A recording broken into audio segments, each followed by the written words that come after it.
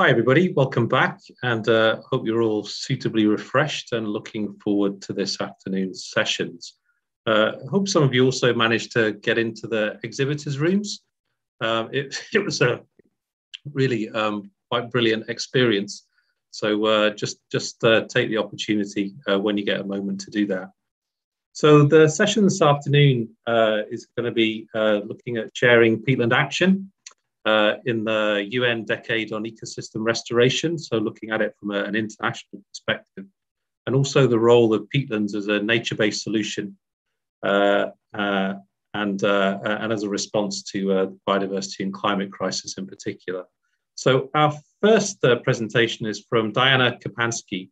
Dianna is the coordinator of the Global Peatlands Initiative at the UN Environment Programme, uh, she's a conservation biologist with more than 20 years delivering a suite of landscape management and climate change programs to inform environmental policies around the world. So, hand over to Dianna. Good day, everyone. It's my pleasure to be here with you from Nairobi, Kenya, uh, for this important annual gathering of peatlands champions and enthusiasts. My name is Dianna Kopansky, and on behalf of the United Nations Environment Program, I have the honor to lead the Global Peatlands Initiative. It's an international partnership working to save peatlands as the world's largest terrestrial organic carbon stock. Peatlands hold nearly 30% of the world's soil carbon, yet cover only 3% of global land area. We estimate that degradation through conversion and drainage has affected 65 million hectares that's over 15% of all peatlands globally, contributing as much as 5 to 6% of global human-caused greenhouse gas emissions annually. Peatlands are a carbon powerhouse ecosystem that cannot be overlooked in our efforts to shift our relationship with nature and tackle the three planetary emergencies of climate change, biodiversity loss, and pollution. Peatland food production systems that people and companies in the UK may be investing in contribute disproportionately to climate change through process-based emissions, production, storage, transport, but also through deforestation, drainage and conversion of natural carbon stores and sinks into monocultural commodities. Increasing demand for growing media, for greenhouse and gardening especially during the COVID pandemic, is also impacting peatlands' health. Never has it been so important to invest in the health of our remaining natural ecosystems that can deliver powerful nature-based solutions that are affordable, scalable, and available right now.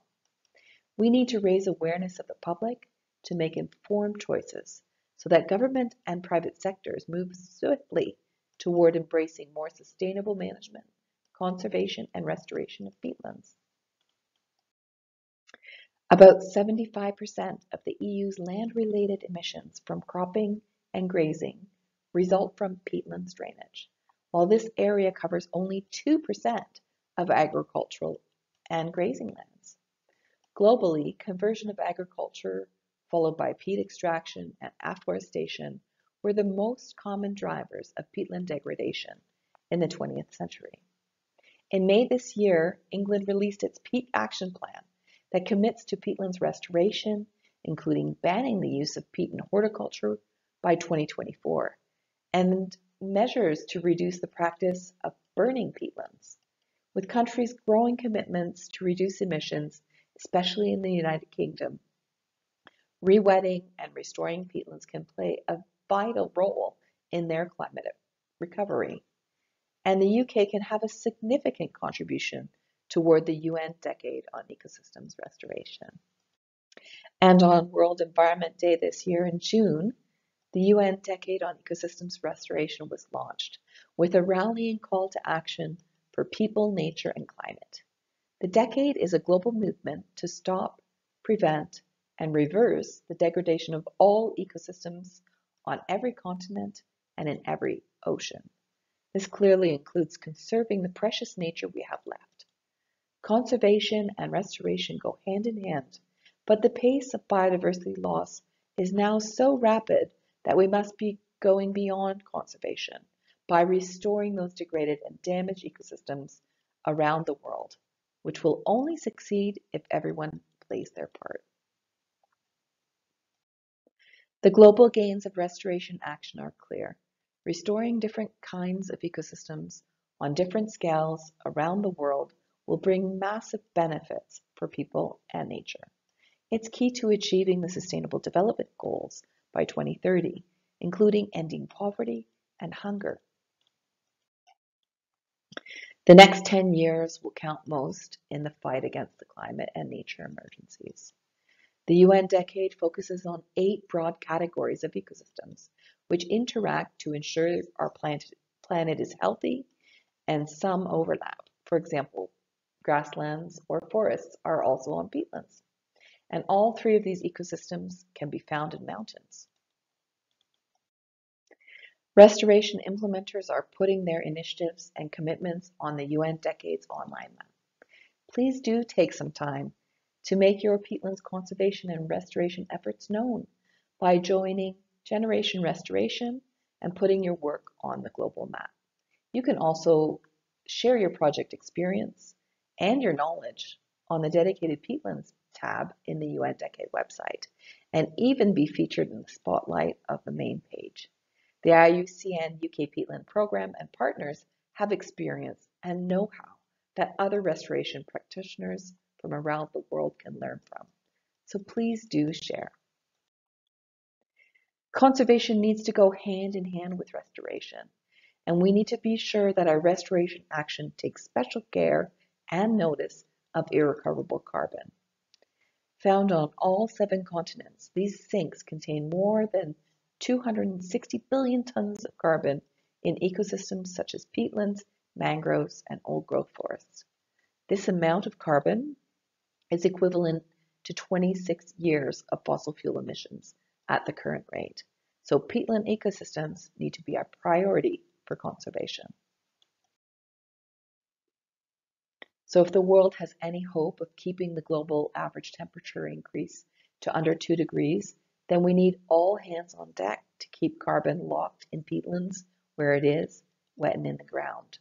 The Global Peatlands Initiative, now 45 international partners strong, we're improving the conservation, restoration, and sustainable management of peatlands globally by bringing science to policy and practice to save peatlands as the world's largest terrestrial organic carbon stock. We're making progress in the policy domain as the world has signaled the importance of peatlands when all member states adopted a dedicated peatlands resolution for the conservation sustainable management of peatlands during the fourth United Nations Environment Assembly in 2019.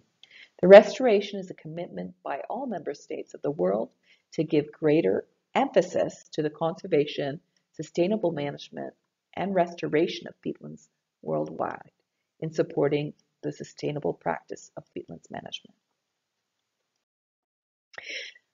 Where we need more action is in the finance sector financing nature, both its conservation and restoration. UNEP calls for an investment of 4.1 trillion US dollars to halt the climate, biodiversity, and land degradation crisis by 2050. Within that are an estimated costs of 7 billion US dollars yearly for peatlands restoration. Many of us know that restoration makes economic sense. For each $1 invested in restoration can generate up to $30 US in economic benefits over time. In the US alone, restoration employs 220,000 people and is a $25 billion industry. These are new, green, and meaningful jobs for youth and for rural populations. Everyone has a role to play in ecosystems restoration, and each of us can make a difference. Be a part of the solution and join Generation Restoration because we need all hands on deck to take action for peatlands, for people, and our planet. Please do join us, be part of the solution at the Global Peatlands Initiative. Thanks very much. Thanks very much, Dianna. Um, and uh, it's been hugely exciting actually to see the uh, see the growth and the impact uh, of the coordination of, of international efforts around peatland conservation and, and the GPI. Uh, and, and I think the UN resolution has just been kind of hugely influential uh, in that respect over the last few years. So it's uh, it's been great to work with Dianna and see the growth in this whole area. Our second presentation uh, is from Stewart Maginnis. so um, Stewart might be a little bit tired because he's literally just come back uh, from the IUCN uh, World Conservation Congress in, in Marseille. Uh, Stewart's the Global Director of Nature-Based Solutions Group uh, and the Director of the Global Forest and Climate Change Programme uh, at the International Union for the Conservation of Nature. Good afternoon.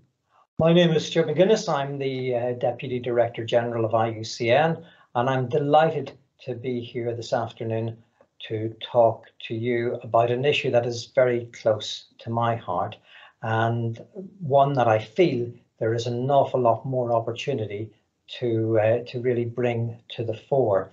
Now I've just come from the World Conservation Congress in Marseille and I can be clear uh, clearly testify that there was a very strong focus around the role and the importance of nature-based solutions to a range of societal challenges, not just climate change, but issues like food security um, and, and, and uh, safeguarding uh, vulnerable communities. Um, but there is still, I think, a real gap on the opportunities that exist for peatlands. So I'd like to uh, look at uh, look over the next 15 minutes at the role of peatlands as a nature-based solution. And I will say that uh, this is an issue that is close to my heart because as a as a young child and teenager back in the uh, 1960s and 1970s, I spent many, many hours with my uh, grandfather and my uncles up in the uh, in the what we call the moss in in South Derry in Northern Ireland um, uh, cutting uh, turf by hand. And I have seen actually uh, firsthand what happened when that was replaced by me mechanized processes, um, which of course, as you all know, enhanced uh, drainage, enhanced oxidation, and really led to significant degradation of these fantastically rich biodiversity habitats. Now, we're, we're, our starting point really is is looking at the opportunities that uh, that nature-based solutions offer for the conservation of peatlands. And as many of you know, uh, the whole concept of nature-based solutions was really advanced by our constituency, by IUCN, um, over the last decade or so. Um, in 2016, in Hawaii, many of you voted as members on, uh, uh, on, on, on a definition um, of nature-based solutions that is now very widely accepted uh, across the uh, across the globe. And I think there's a couple of key points to that uh, definition that, that are worthwhile highlighting again. First of all, we are working with natural and or modified ecosystems. Then we are working with established conservation practices for protection, sustainable management, and indeed restoration. But also what we're doing is we have another eye on the contributions that the ecosystem services derived uh, from from those uh, those habitats and from those ecosystems can contribute to society. And therefore this idea that we can actually simultaneously deliver um, goods and uh, services and opportunities for human well-being while at the same stage conserving biodiversity. Now, I don't need to go to, to reiterate to you just how many benefits and, and co-benefits uh, there are with um, with peatlands, uh, the provision of safe drinking water. Uh, with that, I, I, think of Loch Katrine uh, uh, above Glasgow, su supplying Glasgow with its drinking water. Um, the, uh, this fantastic carbon store um, more so than any other vegetation type uh, in the world. Uh, the protection of vulnerable communities, um, the the modifying and and, and and hydrological regulation functions that allow for both water storage when there's a heavy inundation, but also for the slow release for downstream needs. And then, of course, there is this uh, the, the biodiversity uh, benefits and, and, and, and its function as key wildlife habitat. And finally, uh, we shouldn't uh, forget about the strong, strong um, cultural ties uh, that exist with many communities and indeed the economic benefits that can be derived for, for, uh, for many local livelihoods. We also know, and I've already alluded to that uh, earlier from my, uh, my own experience, just the number of risks being faced by peatlands. Indeed, one can argue that uh, this fantastic, uh, rich uh, um, substrate is part of the is part of the challenge because it is an attra it is attractive to convert that to rich agricultural land. Um, the, we, we've seen in, in, in uh, various places in the world, and particularly in Indonesia, uh, rapid, rapid deforestation and drainage uh, off, uh, off peatlands to, for their conversion to plantations. And again, one of the challenges, rich substrate, really great growing conditions, and, and, and really pushing uh, uh, uh, the, the driver of loss and degradation. We've also seen the, the mining of, uh, of peatland soils for horticulture. And again, as I mentioned in my my own experience back in back in uh, uh 40 years ago, 50 years ago, um, the, uh, the, the the mechanization of uh, traditional uses um, where you then see a large-scale industrial uh, um, harvesting of peat for uh, brickmaking and uh, fuel. Uh, there are several challenges to valuing uh, peatlands, and one is that they tend to be in remote, out of the way areas. Um, they are difficult to get to, and that means difficult for regular monitoring, uh, difficult uh, for um, e even getting in and getting good uh, assessments and good uh, of the goods, services and the biodiversity values. And many countries, therefore, are still at an early stage of mapping their peatland and peatland values and identifying um, where they are and critically the condition that they are in. Um, and I would say this knowledge gap is particularly germane when we come to the issue of peat soil. Now, I have argued, and in fact, uh, last week arguing several times, that soil and soil biodiversity is still a far too often ignored um, by various sectors, including actually the conservation community.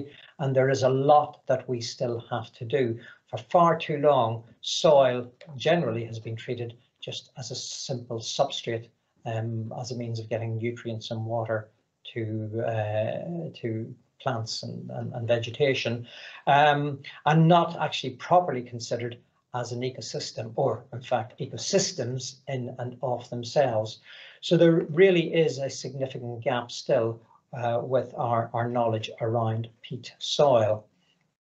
And then, of course, that um, because peatlands are found in remote out of the way areas and that there is a complex social dynamic already existing whereby many local communities rely on them and live from them and uh, and and manage them to some degree that there is that this can be a real problem when uh, industrial scale activities arrive on the doorstep and we see local communities excluded both from the areas they manage and from the benefits they provide.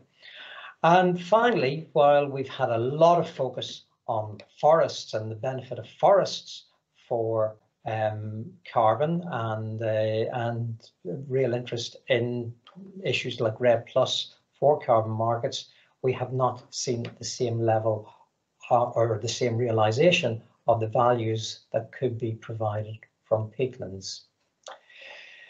So if we are to see this, I think the, the first thing and maybe one of my key messages is that it's not going to be driven simply by public sector investment alone. We're going to have to find a range of investment uh, sources to really uh, get that scale of activity required to uh, to sustainably manage and protect what we've got and restore some of that that we have already lost.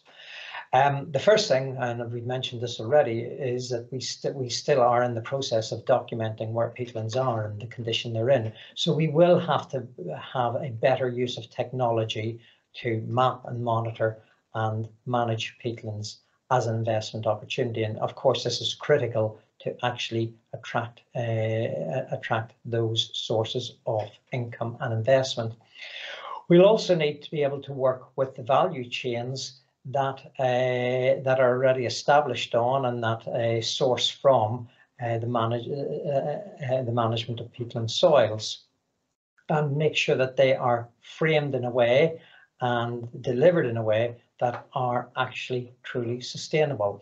And that can range from forests to agriculture, um, to management for a range of ecosystem services.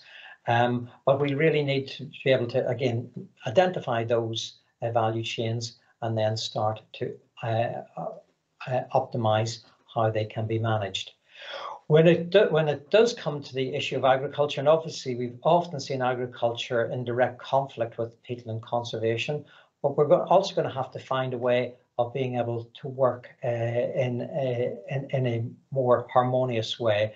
And that is where I do think looking at the opportunities of um, paludiculture um, have has something to offer. So being able to work with wetland agricultures that are designed to maintain the values of uh, of, of uh, peatlands, uh, sustain their biodiversity values, yet at the same stage be able to deliver um, productive uh, uh, uh, value chains. Uh, that would probably mean an option would be to, to invest in, in uh, high value crops and also then to really emphasize and give weight to and va properly value the carbon benefits that could accrue from that. And finally, I think we really need to make sure that we are not substituting one investment with a single investment or single line of investment with one other, but really looking at peatlands as, as for what they are, complex ecosystems and dynamic habitats, and being able to work with a range of the goods and services uh, that they provide. Now, investment uh, possibilities are there. Several of the, uh, there are several challenges, and I've mentioned some of these already, but one I will just focus on is that in order to be able to attract investment, we need a robust and coherent performance framework. And I'll come to why I think IUCN in particular has something to offer in a minute. Um, but we also should realize, and I think we should be enthusiastic and and and uh, and and be uh, be bold in pursuing those opportunities. There are domestic and international carbon markets there, and I think we've got to make the case for how the sustainable management of peatlands can make a substantive contribution. Um, the uh, one area that IUCN is particularly interested in is the uh, is blended finance. And again, I've said before, public sector finance won't do this by itself. Um, we need to attract private investment, but private investment is often cautious. So uh, being able to work with um, public sector investment coming in as a first loss guarantee, uh, junior partner, so to speak, uh, being able to absorb some of the risk and then providing a more attractive framework for um, uh, for private sector to follow through. But clearly, there has to be uh, a clear understanding and documentation of the economic returns that would be available. And we need to be able to target the appropriate sectors. And I do here think that one area, one sector we should be looking at seriously is that of the insurance sector. Um, I've mentioned already, we do need to make sure that we can monitor performance. The private sector will want to see a return, so they will want to have a robust framework around which uh, performance can be assessed as a basis of that return. And I think then that does lay the groundwork for the development of various types of innovative instruments that we have not typically used in conservation and certainly have not used in the conservation of peatlands. That include uh, uh, green bonds, but we can have also other types of structured funds that would that would be geared towards the specialised needs of peatland productivity while conserving um, its values, its ecosystem values and its biodiversity.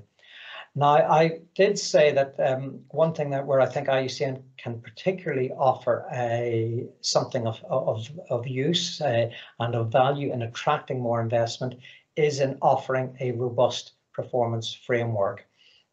That performance framework is not just to deliver, uh, not just to measure what the goods are, but actually are we also adhering to best conservation practice? Are we uh, uh, ensuring that there is proper societal involvement, community involvement and community benefits? And this is where the global standard for nature-based solutions comes in. Now, again, this has been approved and, uh, and recommended by the IUCN membership. Um, its criteria and indicators deal with what is required to get a good nature-based solution on the ground. We have trialed and piloted it in several uh, uh, areas already, and there is a lot of interest. And I think more and more it's being seen as a new sustainable development model. It is uh, consistent with the ISEAL Code of Good Practice. And on that basis, we have just triggered the uh, development of a third party uh, certification scheme working in partnership with other certification schemes. We don't want to go into competition with them, but rather actually being able to offer up a module uh, for third party certification to other schemes that are certifying carbon or land productivity or um, um, provision of uh, sustainable agriculture or whatever.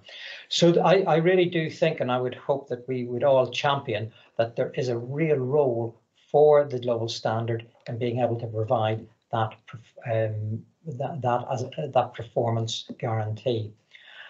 I would uh, just like to conclude with saying uh, that uh, I'm, I'm really grateful again for having the opportunity to um, to talk to this conference. Um, I really do believe that there is a fantastic opportunity and I will highlight on behalf of the IUCN Secretariat that we are very, very keen and very anxious to work with our members, with our national committees in really raising both the promise and the exigency of conserving peatlands and that this can be done and that there is a financial and economic case for that. Thank you very much.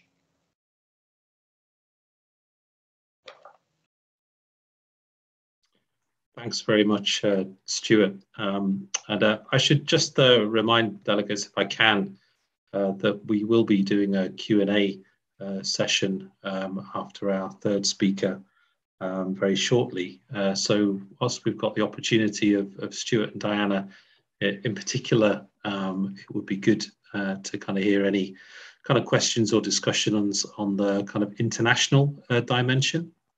our third speaker uh, is uh, Ian Crosher uh, from Natural England, and, and Ian's a senior specialist on in climate change. Ian's also um, been a, a long-term supporter and uh, member of the IUCN UK Peatland Programme Steering Group.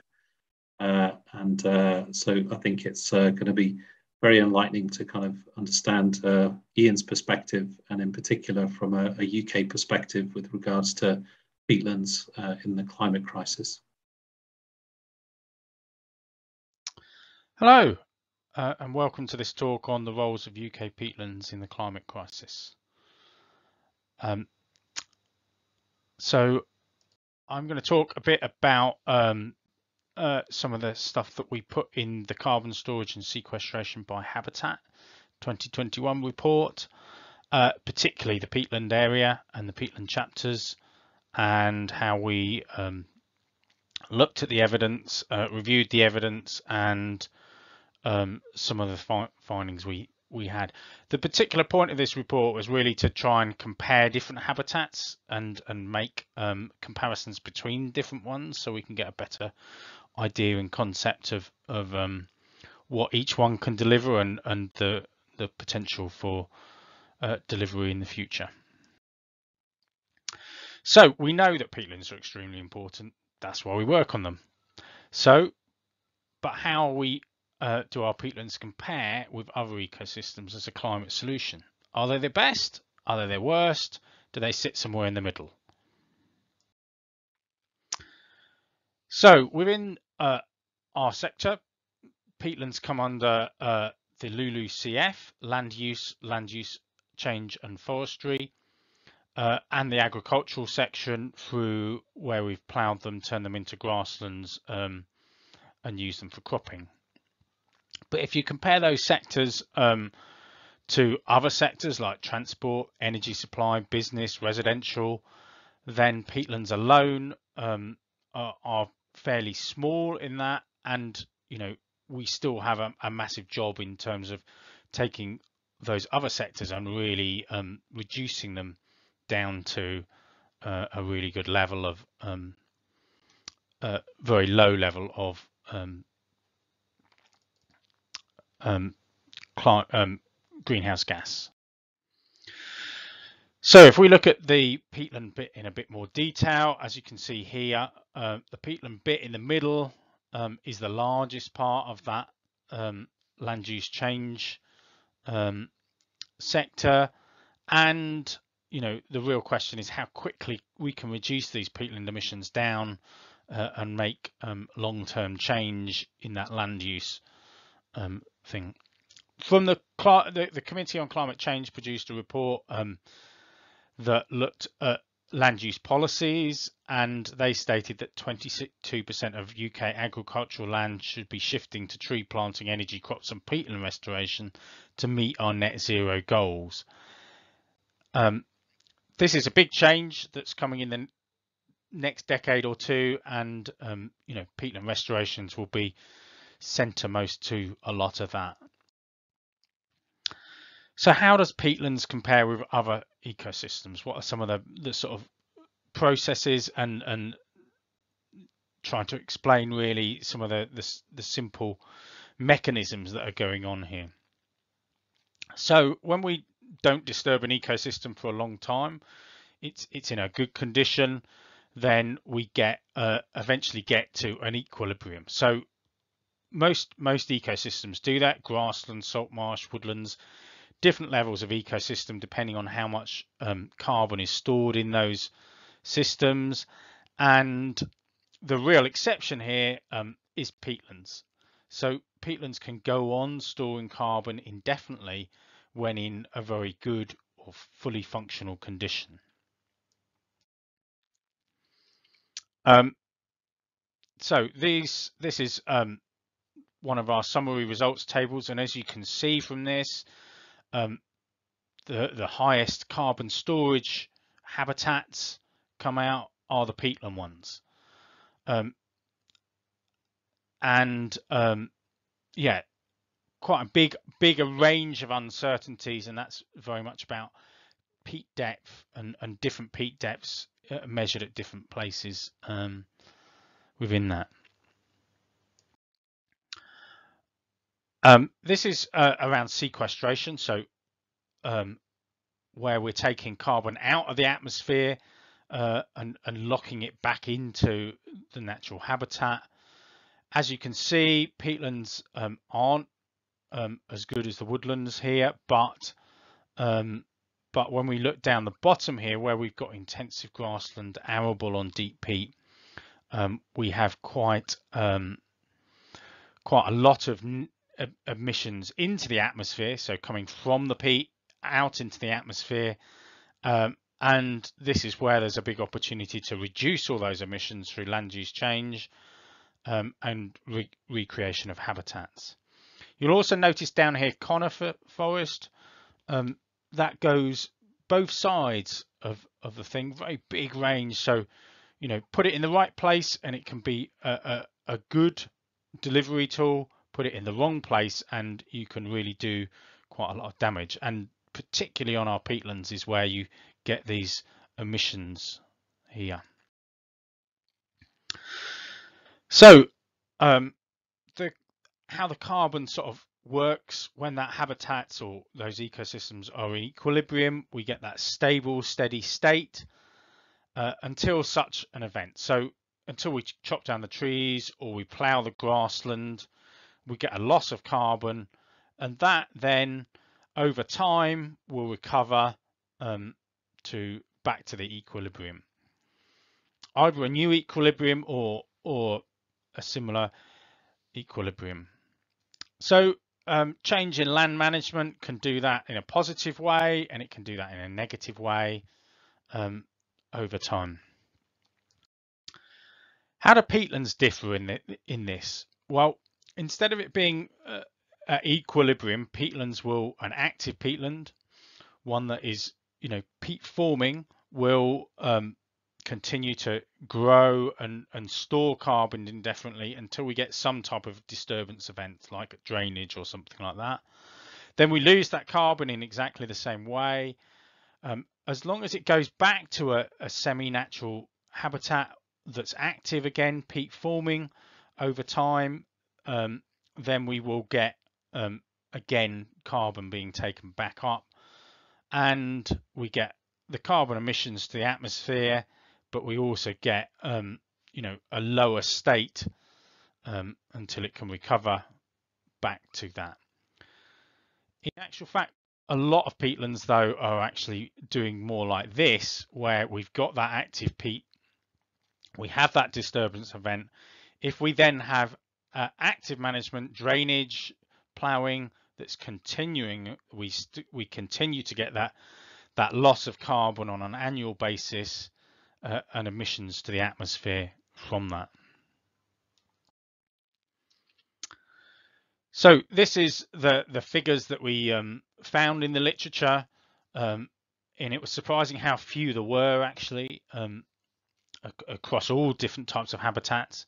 But this really looked at the, the different soil carbons for different habitats. We, we didn't find a lot for vegetation carbon, surprisingly just nobody seemed to have particularly looked at it. And um,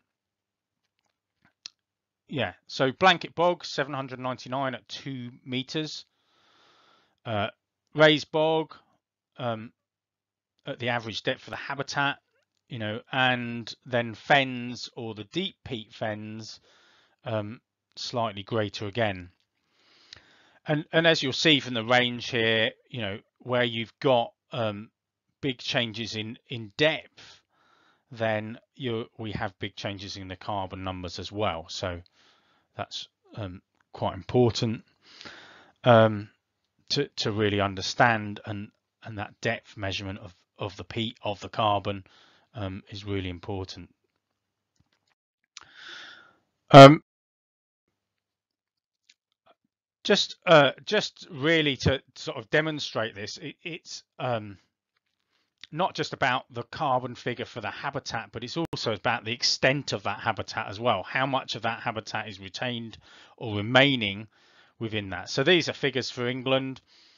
Um, and um, as you can see, blanket bog is by far the greatest extent. Um, and then raised bog and fens uh, on deep peat are a lot, lot lower. And um, that gives corresponding um, uh, tons of carbon or million tons of carbon um, in different things. So raised bog, you know, far better because it's got a higher carbon number, but the extent is a lot less. And just to really demonstrate what's what's possible, these are the figures for the the peatland soils for that habitat that are outside of the habitat, so they no longer have habitat on them anymore and um, consequently we get um, you know some fairly big figures here about what we can do um, in terms of restoring some of these back to semi-natural habitats. Um, we've also got um, emissions factors as well. So how much emissions are being given off by each hectare of peat um, gives you a, a, an idea of that. And, and a cropland really comes out very strongly, giving very high emissions, intensive grasslands. And then we go to the sort of degraded uh, bogs in the middle here, and then all the way through to the more natural systems with a lot lower emissions. Um, again, we can look at the extent of these. So, you know, cropland only covers 24% of England as an example, um, but gives out 53% of the peatland emissions for England. Um, intensive grassland, only 10% by area, but giving out 16% of the emissions. And some of the other habitats that have greater extent giving out much lower emissions in England. So this really um, is, is a summary conceptual model um, that I've used over the years. So where we've got poor condition peatlands, drained, dry, intensively cropped, in agricultural systems, we get high emissions. Um, and as we move up this scale of getting slightly better um, states, you know, more heather dominated, grass dominated peatlands, those um, degraded peatland systems in the middle here, all the way up to the higher level ones that have lower emissions and uh, are functioning far better. And and really, I guess the the aim for all of us is to move as many of these balls up to get to the highest and highest state for the ecosystem, but also the, the lowest emissions for the ecosystem. So what are the, some key messages to summarize on this really? Um, yeah, severely degraded um, peatlands, um, we have lots of them and there's lots of potential to restore them. And um, uh, it's going to be a big priority to to reduce those emissions and, and really get rid of them as much as we possibly can. And um, while really protecting and retaining the habitats and ecosystems that are already uh, under semi-natural vegetation as much as possible. If we compare those to, you know, those other sectors again at the beginning, transport, energy, you know, this should be one of the easier ones to to reduce and um, we should um, do everything we can to do that as quickly and uh, effectively as possible. Um, so this, this was our conclusions from from the report itself, looking across all those habitats, and and as you'll notice, protect and restore peatlands comes out the top. It is the highest, what we think is the highest, the most important um, thing to do. It's a restricted land use, if you like. Peatlands only exist where they've naturally formed uh, over the millennium. And uh, so we need to protect those and restore them where they are, uh, and then put other things like native broadleaf woodlands, coastal restoration, our other semi-natural habitats um, around them so they don't compromise them and, and really help restore those as much as possible. So this was our, our overall summary from our report and please do go and uh, look at it and read it. Um, you know, it was compiled by um, a, a, number of us uh, climate change people at Natural England and uh, it, it's really got lots of useful other information in there beyond just the, the peatland chapter and area. Thank you very much. Okay, uh, so thanks to all of our virtual speakers who are now live in the kind of virtual world here in front of us all, uh, the wonders of modern science. Um, there's uh, a good few questions come in and uh, I've uh, got a few other things that I think have been prompted uh, by presentations there from Dianna and Stewart and Ian. We've got about half an hour, so there may well be opportunity to get another couple of questions in if you want to fire those into the into the uh, Q and A. Uh, but we'll start off uh, with with Ian if I, if I can, and it, I think it quite nicely follows on Ian from some of the some of the points you were making there, and particularly your messages at the end. so I'll read out the question if that's okay, and ask you to respond, Ian. most carbon is to be gained where peat lost was greatest, should we not also assess the potential role of restarting peat formation in areas of lost peatlands? This could be a huge amount of carbon, as model scenarios have indicated. What, what do you think? Should we be uh, should we be doing that? Should we be prioritizing it?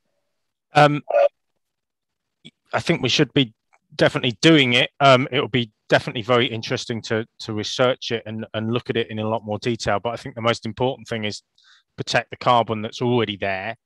So that's where we should be putting the most money, and then trying to really reduce those emissions um, from our peatlands. So yeah, I think it would be really interesting, particularly to really build that evidence about what's happening and how much more peatlands can sequester, particularly when we, you know, actively manage them to do that. But um, yeah, not at the expense of doing those other things and and protecting what we've got because we don't want to use those and then reduce those other emissions that are already happening and already out there on an annual basis. Yeah, Dianna, I don't know whether this kind of point has come up elsewhere in, in other country strategies. Um, I don't know whether the, the recent uh, German strategy has identified this I guess a quite a large area of, of their peatlands historically would, would have been lost and converted to agriculture. Yeah, Stuart, it definitely. I mean, Germany is in a very difficult state because they have a huge amount. I think it's more than close to 90% of their peatlands had been converted or or used for other um, uses, like mostly agriculture.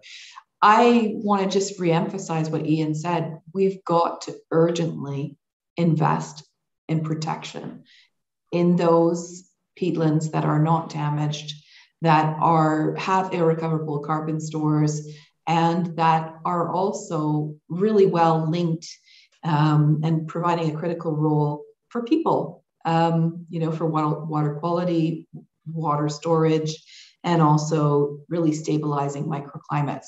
So I want to echo that. I do see that there is an important piece here when we talk about restoration is the rewilding aspect.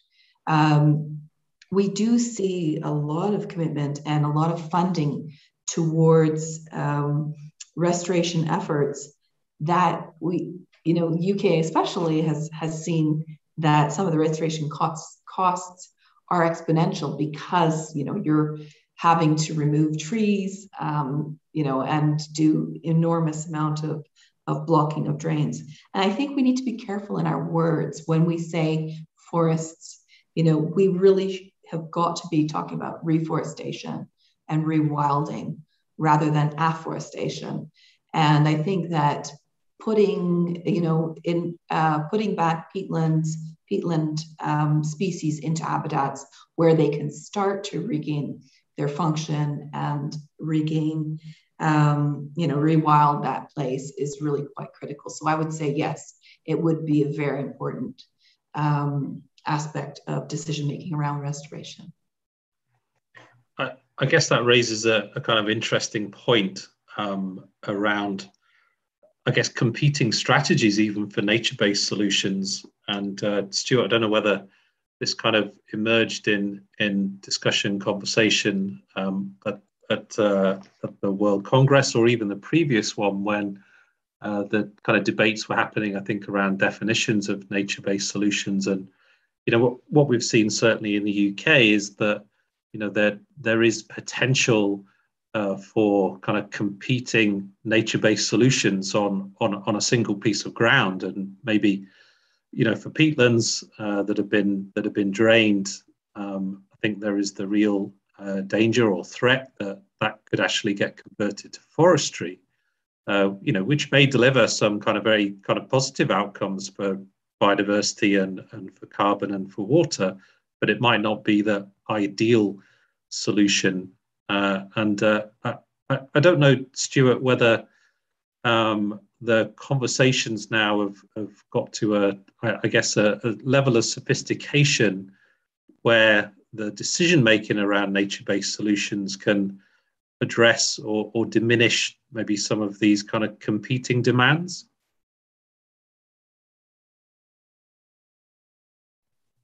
Thanks, Stuart. Um, two things I'd just say on that. Um, one of the things that was very interesting, part of the narrative that really came out, I would say, at the at the World Conservation Congress in Marseille, um, a couple just a couple of days ago, um, was that we, we need to stop talking about these two crises, um, biodiversity over here and climate over here, as if they're separate. In fact, there's two emergencies, but there's actually one crisis. And this issue came up quite a lot, that there, the, the, the crisis is actually how we uh, as, uh, as humans are actually using and abusing the planet.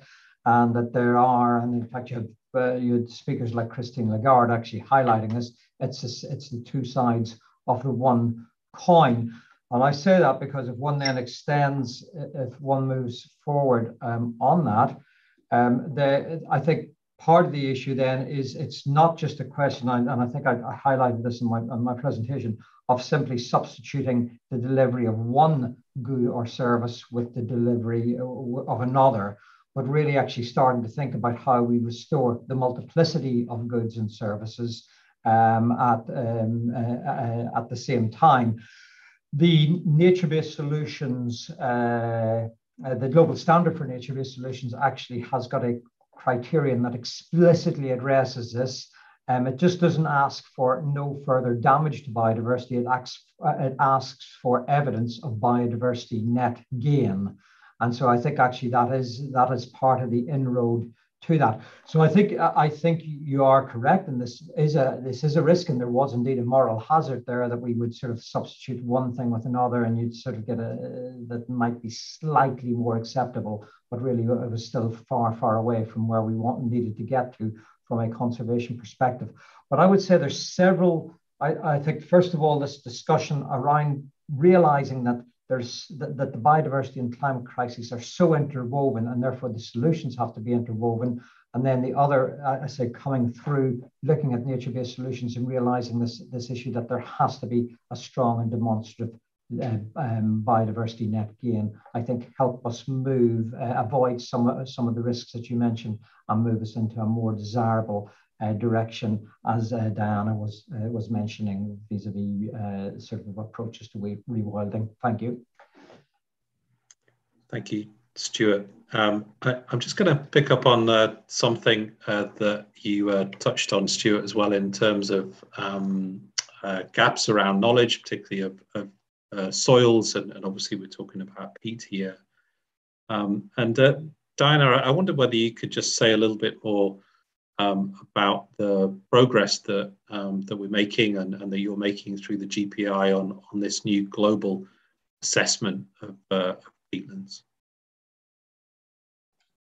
Thanks so much, uh, Stuart. And I think we are seeing a real push globally as um, Stewart has shared about the criteria and indicators uh, being built up on nature-based solutions. Similarly, there's a lot of getting to work with IUCN, FAO, UNEP, and multiple stakeholders, including um, the incredible research community that has been sharing openly and for free their knowledge and expertise, especially around the decade uh, targets and monitoring and mapping um, metrics.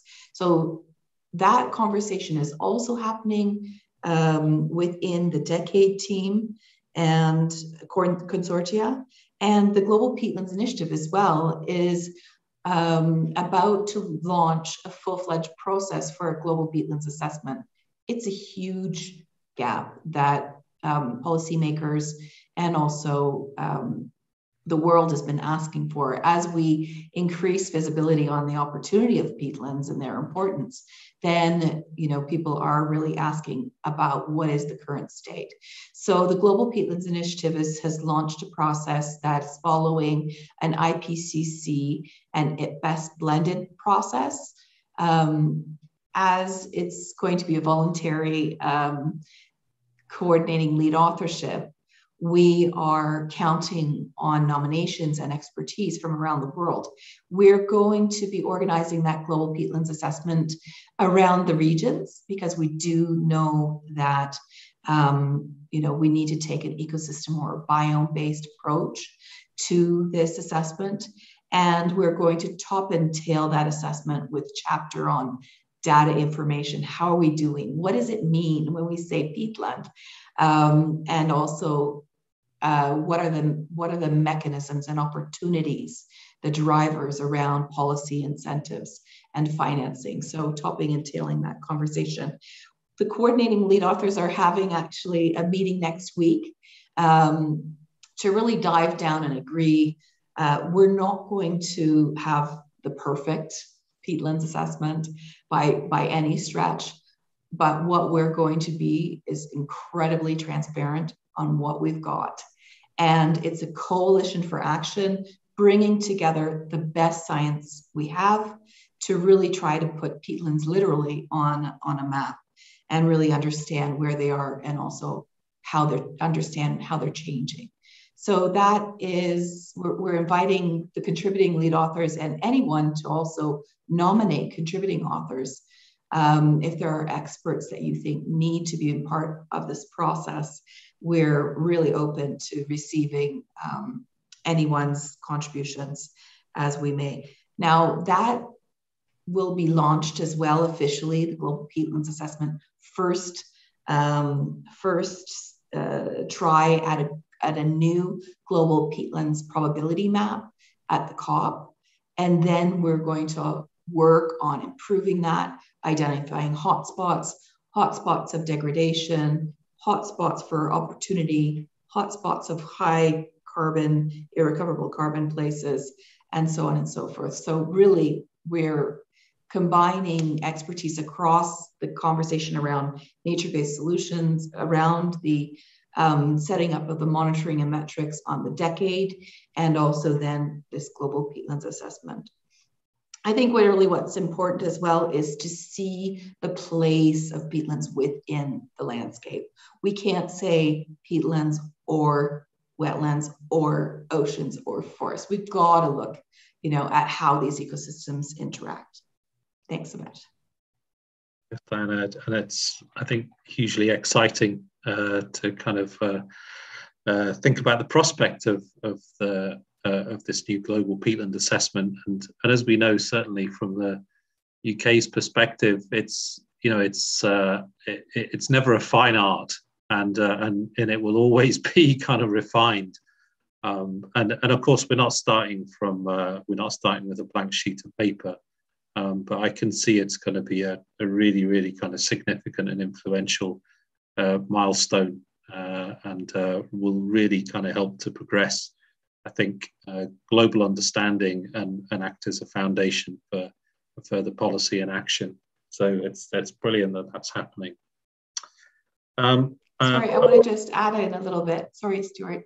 Yeah. I just wanted to say because there's also a real incredible spirit of collaboration across the peatlands community that I wanted to really acknowledge because we've got also a Global Peatlands Initiative research working group so, really, we're working hard to elevate and really try to create a gold standard uh, so that we can compare across different places, both in space and time.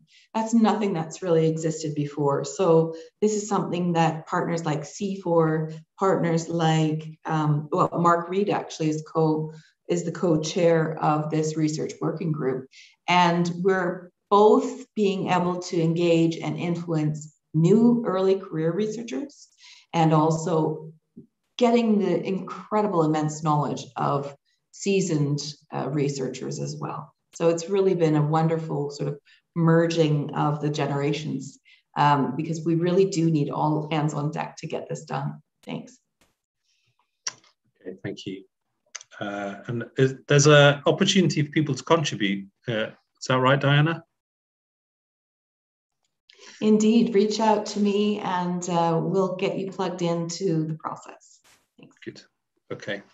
uh, okay, uh, I am going to come back to the um, COP26 and, and, messages and things, but we'll maybe kind of leave that towards the end. Uh, Ian, if it's okay, I'm going to come back to you. There's a couple of questions uh, come in, um, and uh, uh, I'll just read it out if that's okay, Ian.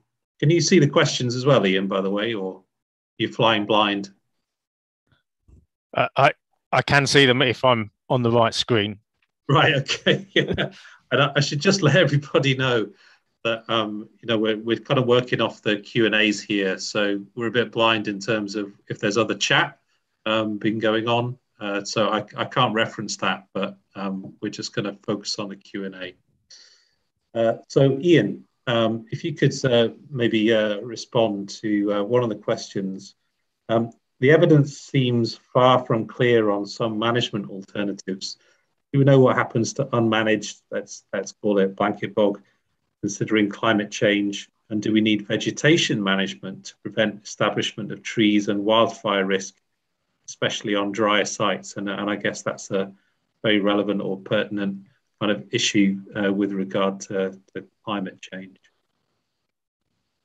It's, so making these sites as resilient to climate change as possible, I think is is very much about wetting them up, which is the best thing to do um, for so many things. Um, yeah, we we still need to manage them when they're in degraded condition until we can really get them in the best condition they are in.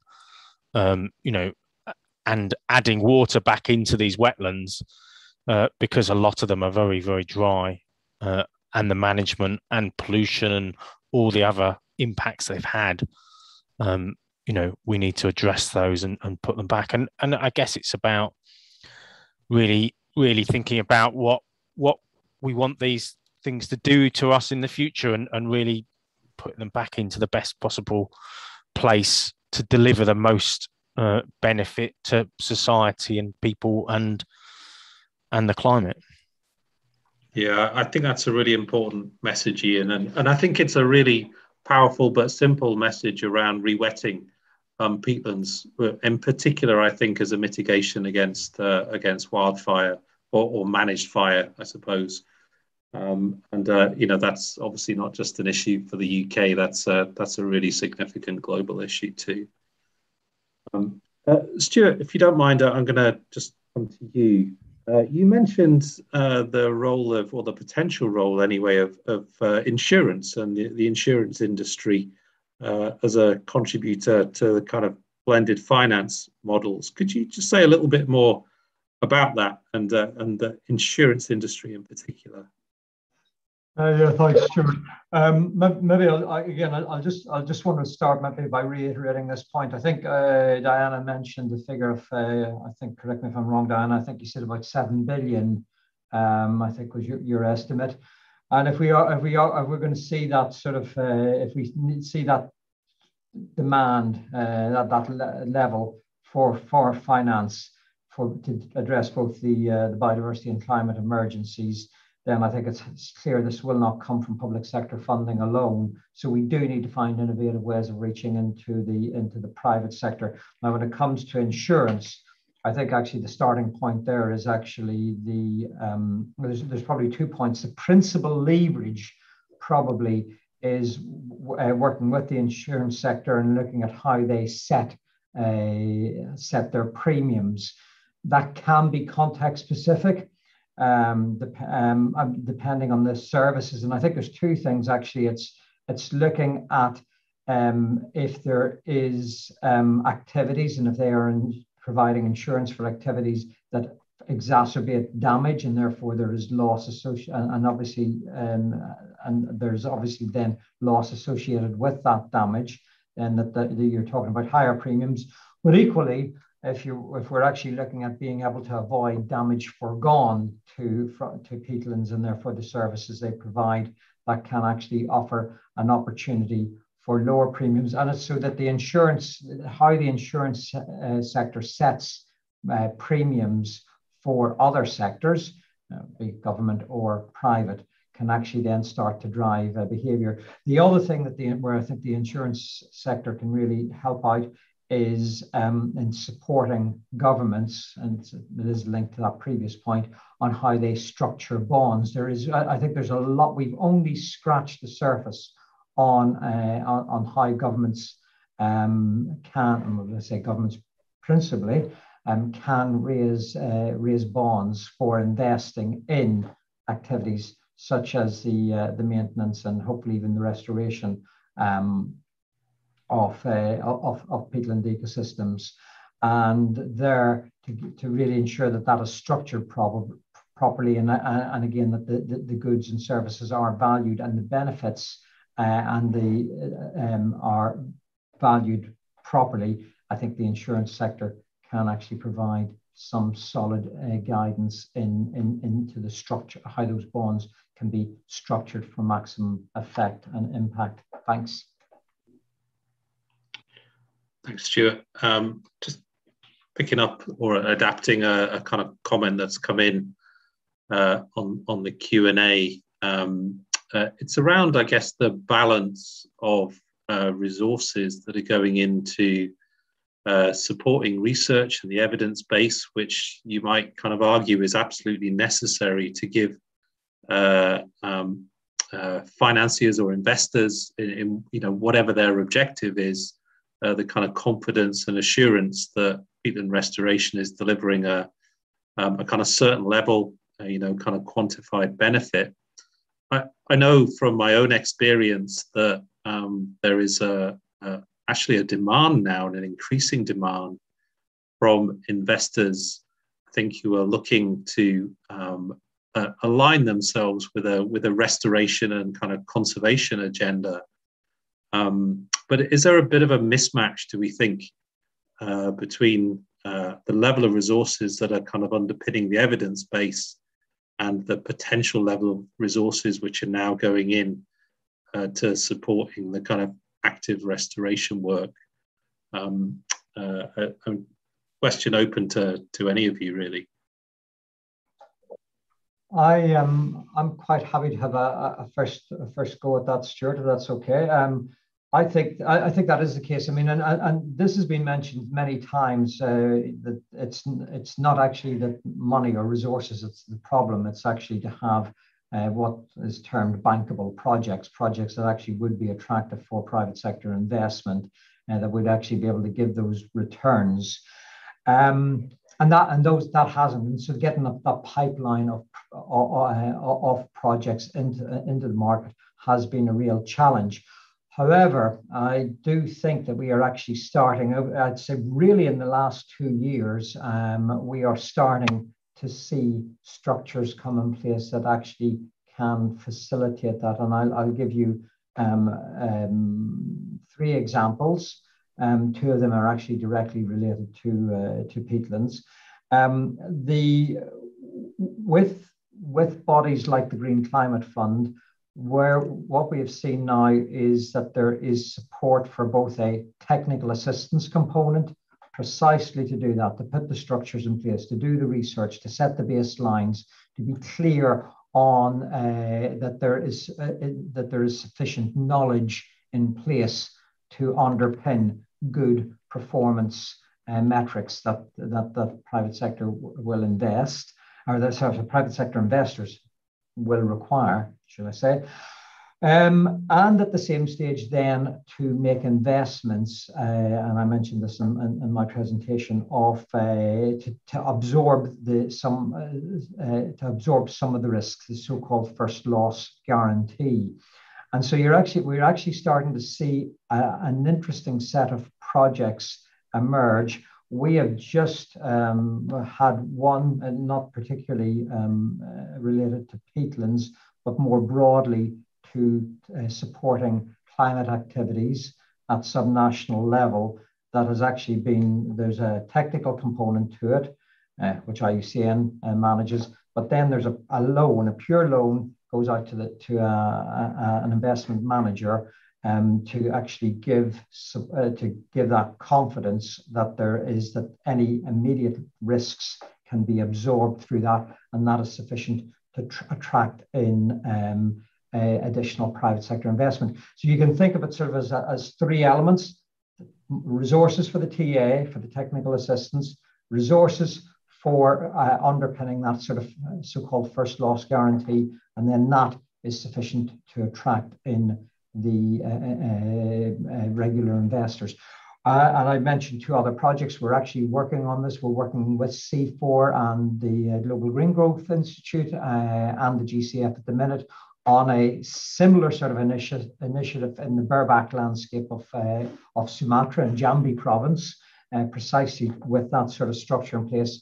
And then we are very proactively exploring with GCF at the minute a broader mechanism for global for a global peatland program that again would sort of try and do that uh, provide that's that that that sort of structure grant based technical assistance combined with loan based first loss guarantee which then attracts in uh, additional private sector investment thank you thank you stuart um, okay, I think we've probably just got time for, for one more question, if that's okay. Um, I think it's a good one to end on as well. Uh, so, uh, question to all of you, maybe I could start with Ian and then Dianna and then um, Stuart, give you opportunity to pause for breath.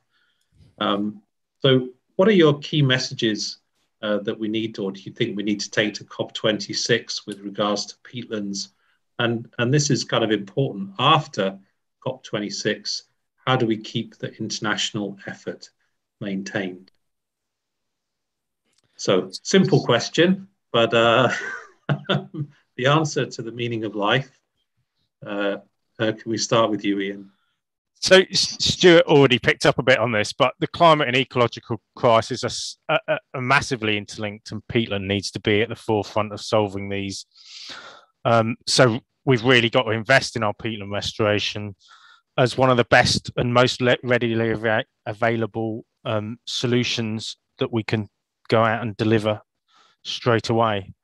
And yeah, I guess it's it's really about making sure we've got that finance and and backing for the long term, and also perhaps you know get some of that research into into the things that that we don't have answers to now, but we need more clarity for in the next 10, 15 years. So really looking long term. I, I, don't know about you, Ian, but I kind of feel that you know we've made great progress in the across the UK, four nations, um, in the in the policy community, in the scientific community, and and and and actually the political uh, community as well. Um, uh, what about the public? Do you think there's a, a think there's a bigger job that we could do? Uh, do you think we've still got a way to go there? Yes, I think certain parts are definitely coming on side and, and understanding that and and horticultural use of peat and all of those sort of yeah. stories have have a place to play in that and and people need to explain that but yeah i mean generally the person in the street doesn't understand some of these things and and aren't making buying decisions on, on these issues where a lot more people you know if they knew more about it would be really really good to support it and and i guess you know different sectors like agricultural sector and you know forestry sector are all all learning around peatlands as well as we go. Okay. Uh, dianna your your messages to cop. Thanks. That's that's a difficult one because i think i want to say many things because I think there's a lot of messages around peatlands that people need to hear and, and including the public. So I want to just also say that most, for, first and foremost, we need urgent investment in peatlands, and that's them healthy and beautiful, and that's them degraded and needing action. And I think that around the financing discussion, we've got to change the rhetoric. We've got to create um, you know, we've got to create criteria where equal and urgent investment in conservation, especially on peatlands, happens at the same time as we offer carbon credits and opportunities for restoration investment. I think that we, as the community that's driving these decisions, need to insist on it. And we've got to move beyond the discussion around commodities. So I think, you know, we have to recognize that economies are not just built on commoditization. We um, need people, we need them healthy, we need them happy. And um, a lot of the services that natural ecosystems give us are, are not part of that trading uh, center. So I think we need to move, move that uh, rhetoric in that direction. I really think that a message for COP is that there is an opportunity for new green jobs that are meaningful for youth so that they can stay where they are or go to nature as they wish. And um, that governments need to be um, investing and, and private sector and all need to invest also in the research. You know, there it you don't just get one piece of the puzzle. You've got to invest to fill the gap. And I think that um, the exciting thing is, is that long term, this is not a conversation only about uh, climate issues, as we know, but long term, our messages will be very similar towards the um, global biodiversity framework, to the discussions at the Ramsar COP, and also at the other um, UNCCD land degradation neutrality commitments, and the Convention of Migratory Species. And all these MEA secretariats are actually being brought together with the Global Peatlands Initiative to really discuss what does a call to action look like? How can we show that by prioritizing peatlands action, conservation, and investment, we can advance multiple global agreements at once together. And I think that my message is we've got to do it together from every uh, facet um, and also from any generation. Thanks. Thanks, Dianna. So it's a good point. If anybody saw my address, my opening welcome address this morning, you'll have seen I was promoting Shetland ponies uh, as our um, orangutan for the uh, equivalent for UK peatlands. So that, has got to account for something, surely, Ian, in the uh, in the public consciousness. Um, Okay, uh, Stuart, we come to you uh, uh, lastly, if that's okay. Uh, messages for COP26. I, I, suspect you've absorbed a lot of messages over the last week. Uh, yes, uh, I'm probably messaged out. I, have got actually very little to add to what Ian and, and, and Dianna said. Um, I, I would I think I would just reiterate this point, which again, and this is not new because both have touched on this, that we have that, these emergencies, the climate emergency and the biodiversity emergency, are fundamentally linked. That we have at hand a no regrets option that it can actually address both and can actually deliver dividends to both. And I would actually say that we have got, we are, um, that there is now sufficient knowledge with a, uh, that we can actually um, start to make this attractive for both public and private investment uh, because we, it has to be paid for. One has to get resources into it. So I would say here's a no regrets option. We've got several, we've got several mechanisms that are ready. And why do we wait? This is something that we can move ahead on straight away. Some of the other issues may be more complex, but this is something that we could get moving on um, in, uh, in in December December this year if there was the appetite for it. Uh, thanks. Yeah, I think that's a good message. It's it's uh, yeah, it, it's one that I think we've been pushing for a little while now, but I think we've got the kind of strong evidence base and the momentum um, to to get that utterly um, believable and sold. Uh, look, uh, thanks everybody. You've worked uh, really hard. Uh, it's uh, quite a challenge, I think, to uh, respond to all of these questions. And thanks for the effort you put in on your presentations too. Um, uh, I suspect this is coming from one of our IUCN uh, colleagues here, um, but just to remind everybody, there's an opportunity for delegates to share what they think the most important advocacy mes messages should be uh, to position peatlands around COP26, and, and that's going to be in the, or that's in the uh, feedback survey uh, in, in the menus tab. So that's your opportunity if you like to add uh, your ideas into that final conversation. Okay, uh, so that's us. Uh, and thanks again to our speakers. In the real world, you'd get a clap now, but um, you just have that kind of little awful um, click to leave. Yeah, um, click to leave and kind of slightly flat moment, but uh, I'm sure everybody's clapping. You just can't hear or see them. Uh, okay, everybody's got, a little break now, and uh, then uh, we're back at 3.40 uh, with a session around conserving and enhancing the most readily uh, recoverable peatlands. Thanks so much. Thanks very much, and we'll see you in the next session. Thanks for the chat.